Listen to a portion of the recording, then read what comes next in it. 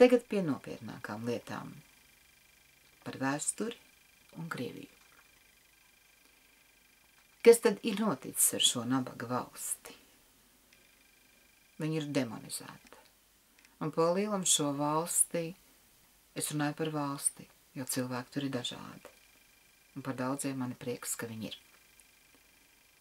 Bet šo valsti postā ir novedis alkoholisms. Un ne tikai šo. Ja mēs turpināsim tālāk, arī mūs tas gaida. Mēs nevaram pieļaut, ka bērni izauga alkoholi ģimenēs, ka vecāki lieto alkoholu kopā ar bērniem. Mēs to nedrīkstam pieļaut.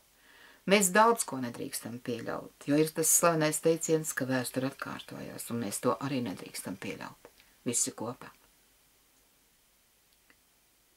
Jo šai valstī ir vajadzīga kārtība, un ir vajadzīga likuma, kur tiek pildīta. Un katram ir jāuzņemās atbildība par savu rīcību, par saviem vārdiem, un pietiek tukši pļāpāt.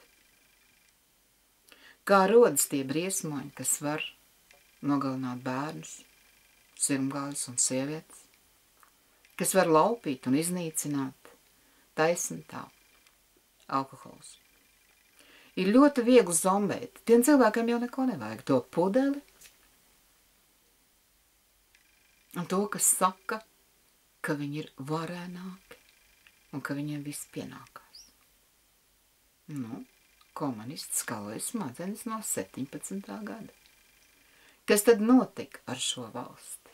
Arī ar mūsējām. Un ar visām citām republikām. Es nu pat runāju ar Valdkrievietu kāču. Brīnišķīgu cilvēku.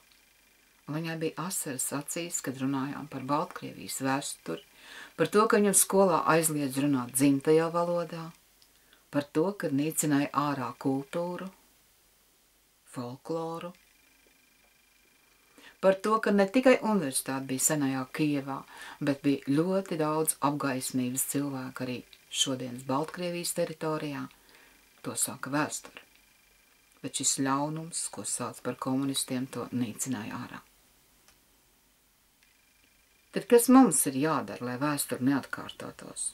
Nu, kaut vai tūlīt un ātri jāpieņem likums, ka gan nacistu, gan komunistu partija ir noziedzīga partija, un tas, kas šais partijās ir bijis, nedrīkst ieņemt nevienu amatu un nekur nedrīkst ievēlēts tikt. Jūs teiksiet pa vēlu? Nekas nav par vēlu. Nekas nav par vēlu.